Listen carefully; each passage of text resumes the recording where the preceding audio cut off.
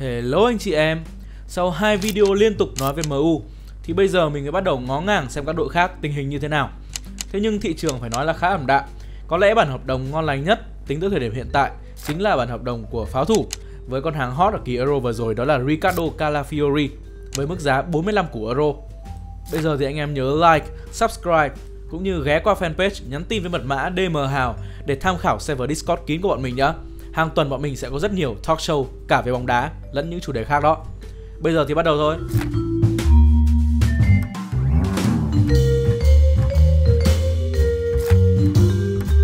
Những ai xem Arsenal của mùa trước chắc đều biết rằng các cầu thủ của họ đều có khả năng đấu tay đôi cực kỳ bá, có thể chén gọn bất kỳ đối thủ nào. Và sức mạnh trong những tình huống Innova này đến từ việc ban lãnh đạo của pháo thủ chú trọng đem về những cầu thủ có thể chất chuẩn meta như là Declan Rice, Kai Havertz, William Saliba hay là Ben White. Cứ theo meta mà vã như này thì bảo sao đánh nhau trông nó lực thế. Và tất nhiên tân binh của họ là Calafiori cũng là một mẫu cầu thủ như vậy. Anh sở hữu chiều cao 1m88, nặng khoảng 86 cân với một khung người rất là rộng, phải nói là khá to lớn. Nghe thôi là đã biết cầu thủ này đánh nhau tốt đến như thế nào rồi. Bên cạnh đó, Calafiori còn có một sải chân rất là dài, giúp khả năng bao sân hay là thực hiện những pha thò chân tắc bóng của anh luôn là rất ấn tượng. Đã to khỏe, chân dài thì cựu trung vệ của Bologna còn cực kỳ cơ động khi mà có khả năng bứt tốc ổn cùng với một cái hông tương đối là dẻo, giúp anh có khả năng phòng ngự tốt ở hành lang cánh cũng như khi 1v1 với những chân chạy cánh của đối phương.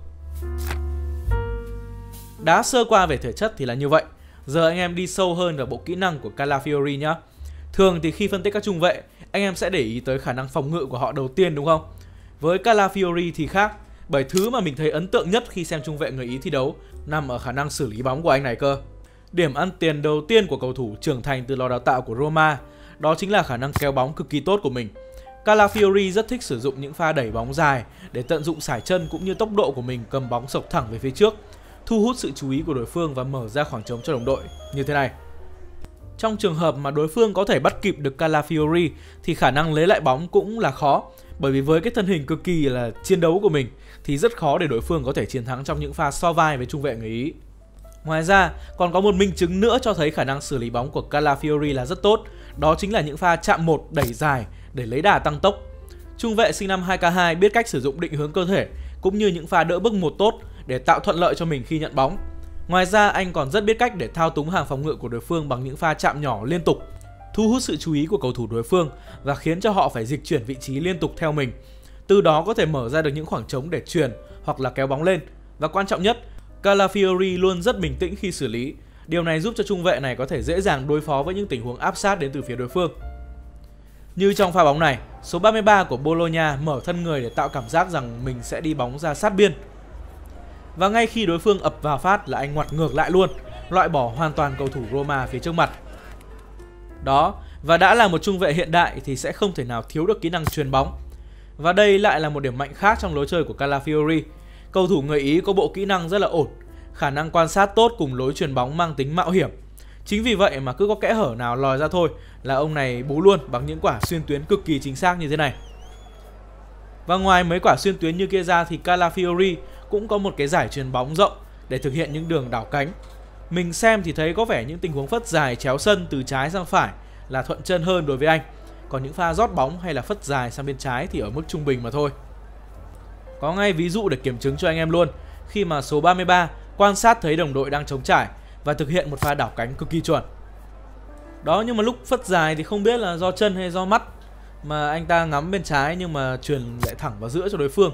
Mặc dù tất nhiên những pha này thì nó chỉ là số ít thôi nhưng mà có thì vẫn phải nói đúng không?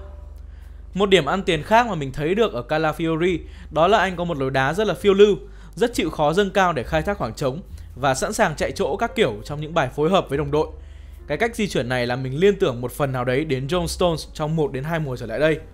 Khi mà Pep cho anh đá vai trò của một ờ, uh, libero và được di chuyển thoải mái để hỗ trợ đồng đội. Đây, cứ nhìn quả hit map tại Syria mùa vừa rồi đi, đá trung vệ mà có tầm hoạt động nhìn không khác gì mấy ông box to box luôn.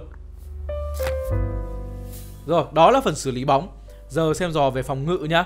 Thế là xong. Cái mà đập vào mắt mình đầu tiên đó là cái ông Calafiori này đá rất là sông sáo. Anh sở hữu khả năng dí đối phương liên tục không cho thở. Và một nạn nhân rất tiêu biểu đó chính là Morata ở trong trận Ý gặp Tây Ban Nha mà anh em đang thấy ở trên hình. Đá quyết liệt như thế mà được ném vào quả hệ thống nặng về pressing và counter pressing như là Arsenal thì đúng là cá gặp nước. Nhưng mà đá rắn, đá rát thì thực ra ai cũng làm được. Đá như thế nào cho hiệu quả mới là khó. Lúc này thì cần đến trí khôn một chút để đọc tình huống và đưa ra những quyết định chính xác. Và may quá, đấy cũng vốn là một điểm mạnh của trung vệ người Ý. Kết hợp sự thông minh cũng như sải chân dài giúp cho Calafiori có thể thực hiện những tình huống di chuyển trước để cắt đường truyền hoặc là căn chỉnh chuẩn xác để thò chân tắc bóng cho những pha đi bóng của đối phương. Như trong pha này, cầu thủ người Ý đoán được pha truyền xuyên tuyến của hậu vệ Roma tới vị trí của Tammy Abraham và đã di chuyển để cắt bóng kịp thời.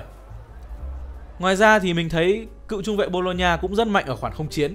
Chiều cao 1m88 đã ghê rồi, lại còn có một cái tầm bật nhảy rất là tốt và khả năng phán đoán điểm rơi ấn tượng. Điều này giúp cho anh luôn luôn chiếm được ưu thế trong những pha tranh chấp trên không. Tỷ lệ thắng không chiến lên tới 71,4% là nằm trong top 5% trung vệ tại Serie A. Có lẽ là một minh chứng đủ để nói lên tất cả. Tuy nhiên, đúng như truyền thống của kênh thì ờ, bất kỳ một cầu thủ nào mạnh cũng phải có một điểm yếu. Đúng không? Vấn đề đầu tiên và thứ cũng là điểm mạnh mà mình đã đề cập tới vài phút trước, đó là sự sông sáo của trung vệ người Ý. Cái điểm yếu này thì thực ra áp dụng cho tất cả các trung vệ dập luôn. Với cái lối đá dập không ngừng nghỉ, ai sợ thì đi về của mình thì đôi lúc anh sẽ lộ các khoảng trống ở phía sau cho đối phương khai thác.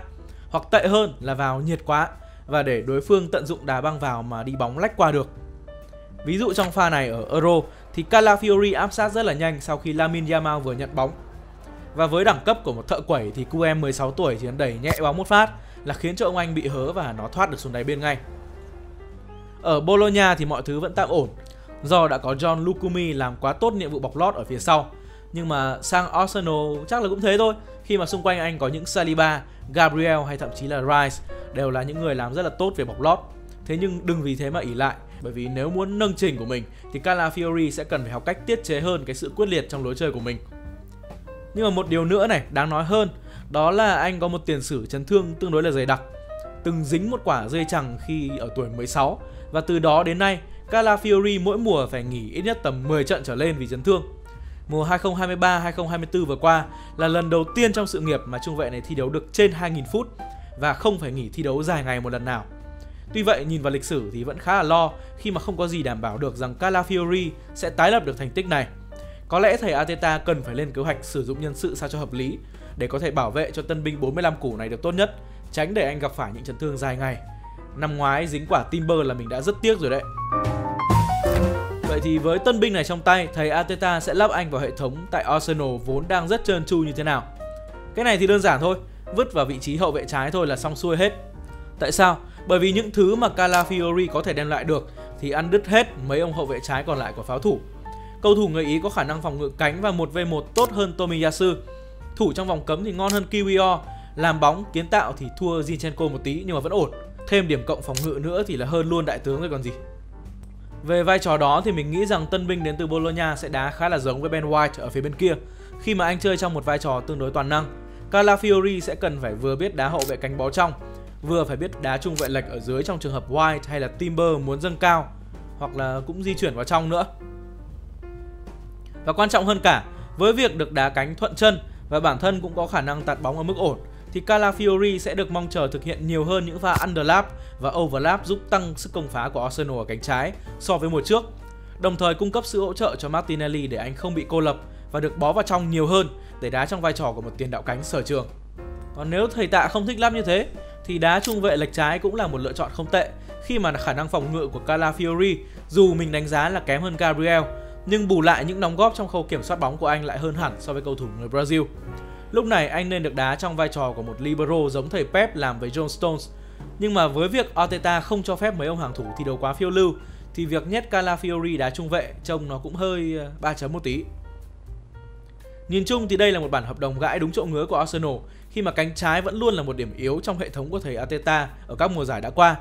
Với cầu thủ mới này trong tay thì pháo thủ sẽ có một hậu vệ trái tổng hòa được những kỹ năng tốt nhất của Zinchenko, Tomiyasu và Kiwior chỉ cần không chấn thương và giữ được tần suất thi đấu như mùa trước tại Bologna thì Calafiori chắc chắn sẽ trở thành một mảnh ghép cực kỳ quan trọng trong hành trình chinh phục ngôi vương của thầy trò Arteta mùa sau. Còn không thì thôi vậy, mặt đẹp trai thế cho đi đóng quảng cáo bù lỗ cũng được nha. Anh em nghĩ sao về bản hợp đồng này? Hãy để lại comment và chia sẻ những suy nghĩ của mình cho bọn mình biết nhá. Bây giờ thì hẹn gặp lại anh em ở những video tiếp theo.